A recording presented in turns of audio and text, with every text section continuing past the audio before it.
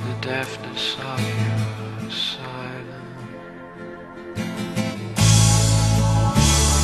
I love you sometimes, always never.